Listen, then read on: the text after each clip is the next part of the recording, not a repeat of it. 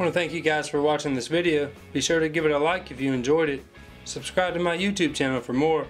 And remember, be ready.